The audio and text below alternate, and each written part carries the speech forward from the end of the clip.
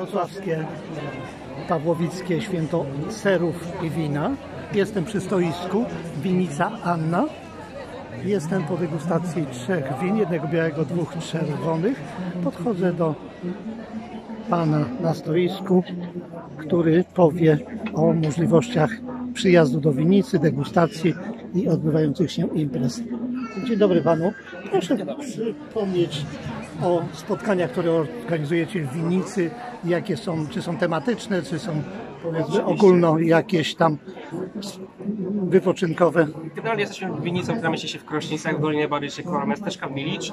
E, Jak najbardziej e, organizujemy e, eventy na winnicy, gdzie można degustować wina, zwiedzić winnicę, tak poczuć na miejscu, jak to wszystko wygląda.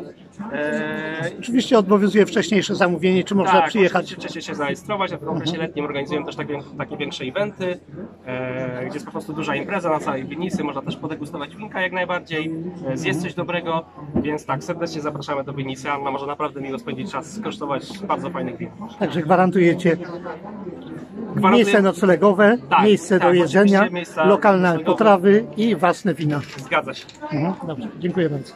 Dzięki.